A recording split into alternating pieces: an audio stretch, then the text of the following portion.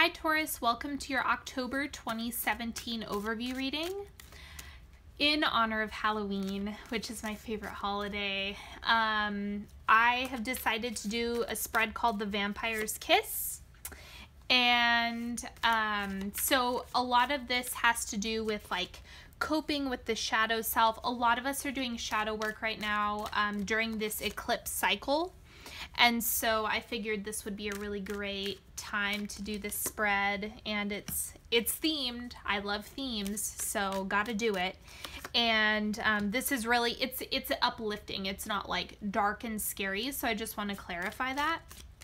Um, so it's really about coping and working through different things. And then I'm not going to do a timeline. I'm going to do something a little bit different for the reading today. And I also have a partnership manifestation class that I am launching at the end of September. And so if you want to get in on that, make sure you stay tuned at the end. And okay, so let's go ahead and get started with the monthly cards. Paulina Cassidy, we have patience. Nurture the seeds of patience and reap the rewards of personal achievement. Okay, so there's something you're waiting on, and it is about waiting for the right opportunity to arise before taking action or pulling the trigger on something. So just make sure that you are feeling things out before you take any type of permanent action. Okay, cross your T's, dot your I's, make sure you're taking the necessary actions and precautions to get yourself a good a good outcome. Okay, and now Doreen Virtue, we have Oceana. Take action. You're in touch with your truth in this situation. What was I just saying, you guys?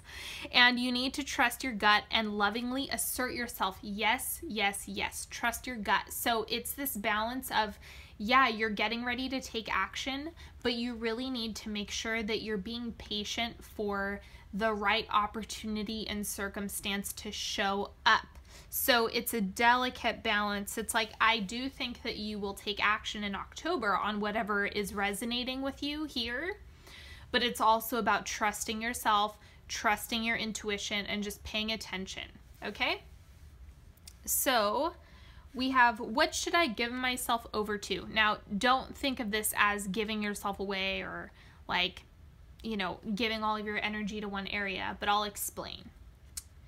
So, work. So, there's a certain level of action, yes, that needs to be taken in order for you to yield the results. So, really, what, what you're giving yourself over to is just trusting that the actions that you take and that the work you put in will have an equal output um, and that may not seem comfortable or you know you might be moaning and groaning taurus has been like in work work work mode like since the moment i started reading or putting these readings online so make sure that i i would not be surprised if I saw some themes come up about about rest and relaxation and nurturing yourself. But right now, you have to turn yourself over to okay, I just need to do this work now so that I can um, get my desired results. Okay, and now we have what happens when I abandon rational thought Nine of coins. This is so interesting that I'm seeing this here because what it looks like is there's a tendency to overthink, overanalyze, overdo it. With everyone else, it looked like, oh, you're just trying to check out or you aren't able to fully step in or there's some whiplash. What this looks like is actually listening more to your intuition and less to your pros and cons lists. So it's kind of like when you ab- abandon such an intense rationality, you're able to connect more with your intuition in order to get, you know, so because you want to be in this position surrounded by all these fruits and coins and birds and things. So to get there, it's kind of like there's a certain level of trusting your gut and trusting your intuition while stepping back away from the intense rationality that you might be pushing away manifestations with. Okay, so now we have who wants to kiss me or who is sending you a lot of love right now. Okay, there could be a Leo reference here with the strength card. Um, this is also someone who's a big supporter. If you think about who has been by your side, who just really gives you great advice and reminds you to take time for yourself, who supports you. Um, so if it's not a Leo, then it's just that person who's been your cheerleader for quite some time. That's that's who's sending you a lot of love and affection right now. It could be a partner, but it might not be. It might be a parent or a sibling or a cousin or a friend. So keep that keep that in mind. Send them a thank you note for all that they do cuz it looks like this person's totally on your team. Okay, now we have how do I embrace my darkness? What this means is how do I cope with the shadow self? How do I nurture the shadow self so that it works for me rather than against me? Judgment. Okay, I want to, I really want to clarify this.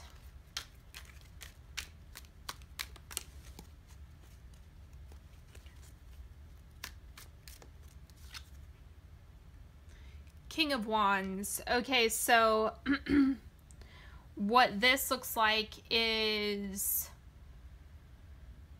there's something here. I think that there's a lot of Tauruses who might have certain feelings but don't necessarily speak up about them all the time or that's something that is in practice regularly. So it it doesn't necessarily come naturally even though there's a lot of judgments that are around certain situations and a lot of intense feelings and so, what it looks like is actually being more assertive, is how you are able to cope more with your shadow self or with um, your internal darkness rather than shoving it in a closet if you have thoughts and feelings, but rather expressing a certain level of them either directly to the problem or to a friend who has your best interest in mind.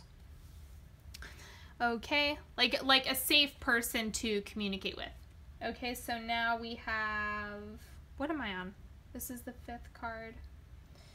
What thrives in darkness. So what now what this means when I interpret this is more like what exactly do you need to let go of so that you can become you step into your light more. you need to let go of the grief, the pain, the the tormented mindset is actually getting in your way. So it's um, let go of your negative expectations of situations. What did they say? Like, keep your wits about you, but um, don't expect doom and gloom from situations because that's what's happened in the past. Let go of that. My God, turn a new leaf because that you're just going to attract more of those negative situations the longer you expect them to happen. It's like, yeah, if you're looking for the negative in every situation, it's going to magnify. So make sure that you are figuring out a balanced way to make sense of your expectations and what you want to cultivate for yourself. Okay, so now we have what thrills me. Page of Rods, it looks like um, when you're looking at a new project or getting started on something new that's really, really exciting, it's like, yes, I get to draw up all my plans, I get to figure things out, I get to like be really enthusiastic about um, my next big project, my, ne- my next venture, these um, it's just all about this new, fresh, exciting energy that you can pour yourself into something new. Okay, because it's like, look at this guy. He's he's looking like, hmm, I'm gonna expect this, inspect this. I'm gonna figure it out. Okay, now we have what increases immortality, aka what helps with your health. Nine of rods. Okay, so this looks like you just have to move forward. Let the past be in the past, let the future be in the future, and just keep working towards your goals in the present. It is very cut and dry. Like, it's just whatever health goals you have for yourself, it's kind of like if you had a bad day yesterday, if you Um, if you ate a donut or you had a cigarette or you had one too many drinks, move on. It's in the past. You already did it. Don't beat yourself up. Move on. If you forgot to work out yesterday, get over it. Like that's seriously what's coming through for this is leave it behind and move forward so that you can, you know, take care of yourself better moving forward rather than beating yourself up that you had a bad day and then continuing to have bad days from there. What lives forever? So this is coming through for you like ideas, but I'm going to clarify it. So like what lives forever is the new projects because they're these are both pages so that would make sense that they're somehow related in terms of there's infinite possibilities and um, things that you can manifest into the physical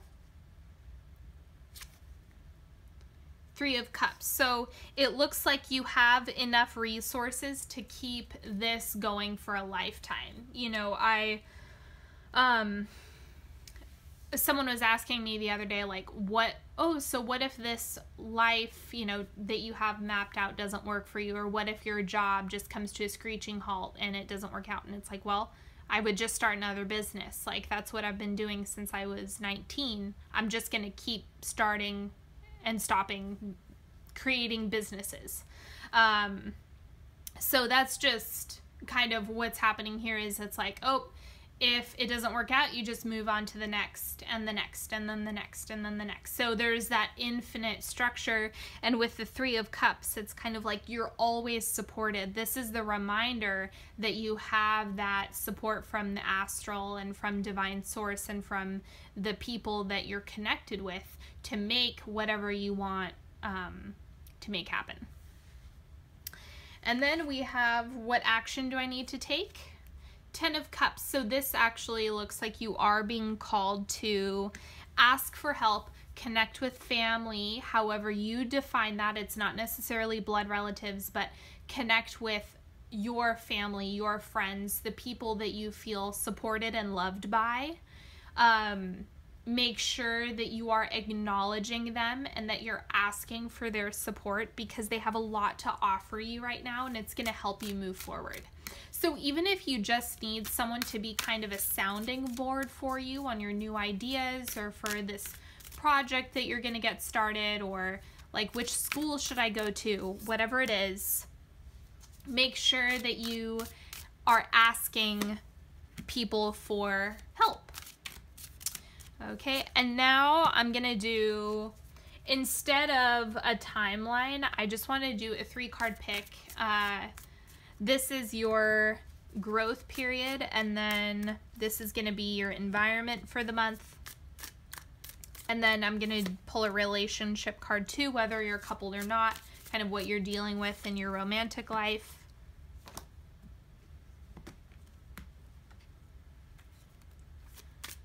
So go ahead and pick a set of cards that are calling to you. If you want to mix and match, that's fine. This is your reading.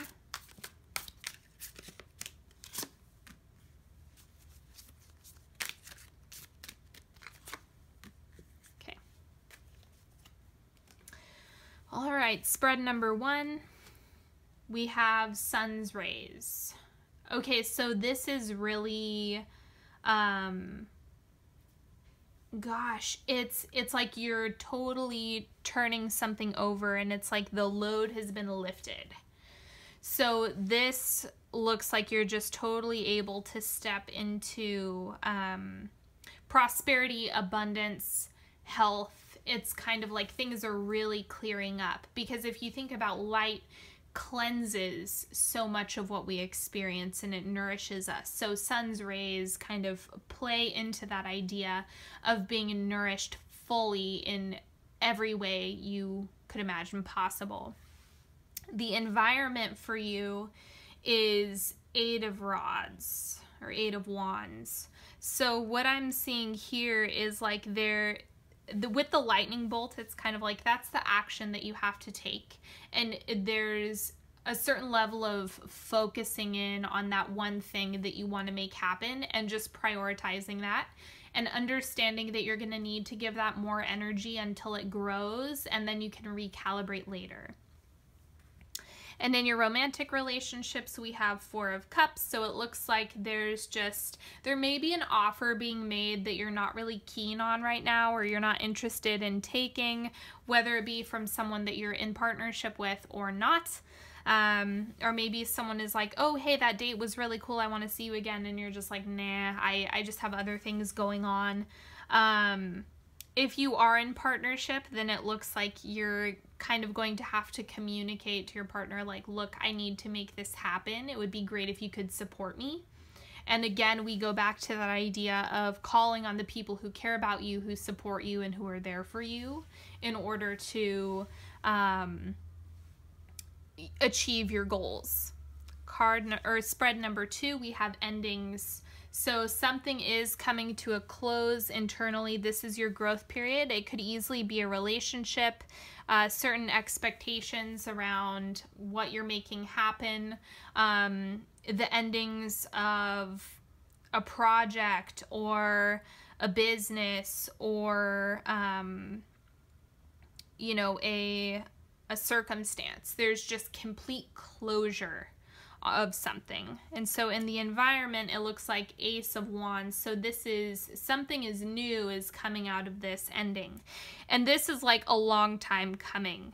And so with the endings, it's like there's new birth, new hope circumstantially for you to move forward. And in your romantic life, we have the Wheel of Fortune. So it's kind of like things are coming in, things are leaving. Um, there's just like some cycles. Nothing is really uh, nothing. A lot of people like to say that the Wheel of Fortune is good things coming in. But the way I see it is kind of like anything could happen. Um, you know, you could meet the love of your life tomorrow. You could go on like 40 dates this month. You it's like it's it's all up to God, really, you know, if you look at it like that. So the Wheel of Fortune is kind of like that anything could happen. Uh, but if you like to look at it like, oh, I have positive things coming into my life, whether I'm in partnership or not, you can look at it that way too. Um, I just see this as there's a certain level of unpredictability, like, ooh, what's going to happen next? We don't know. Uh, so that's the energy of the Wheel of Fortune when I read this. And for spread number three, we have loudspeakers. So we have some communication. This looks like you stepping into yourself fully and being able to, on a grand scale, being able to communicate this is what I want, this is what I need, this is what I'm going to make happen, these are my plans.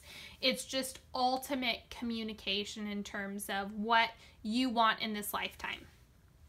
In the environment, we have Six of Wands. So there is something positive that is happening around you, and it's coming from a period of um, not so great circumstances or a not so great environment. There's now a shift in that. So keep your eyes peeled for this and make sure that you're communicating to the universe, God, divine source, whatever you believe in, that there are good things coming into your life, that you're affirming the things that you do want. That's the key thing. And then in your romantic life, we have Ace of Swords. So it looks like there's something, there's new initiation in terms of ideas and expectations about what you want. So if you're dating, it's kind of like, you know what, this type of person that I keep attracting isn't working out for me and if you are already coupled, then it's like this style of communication or these thoughts and ideas we have around partnership aren't working for us anymore. And there needs to be some type of shift in that. So it's just um, like reevaluation and coming into new ideas about what you want to make happen. Okay, that's all I have for the reading today. Thank you so much for watching, liking, sharing, subscribing, and commenting. I appreciate every single one of you. If you are interested in the partnership manifestation group that I have going, um, we start September 30th and it's a two day workshop. It's going to be a ton of fun. I'm giving you a ton of resources, and all of the details are in the description box. I'm going to include the link and everything like that so you can go check it out. All the details, like day one is about belief systems, forgiveness, self care. Day two is about actually crafting your manifestation and making sure that you're using proper manifestation language to attract nothing but the best. Um, and then if you're looking to work with me one on one, you're welcome to book a session with me. The link is in the description below. If you'd like a single question reading, I'll include the link for that as well. Make sure that you follow me on Facebook and Instagram. I'm always adding extra content on there, and I so, so, so appreciate you. And I will see you next time.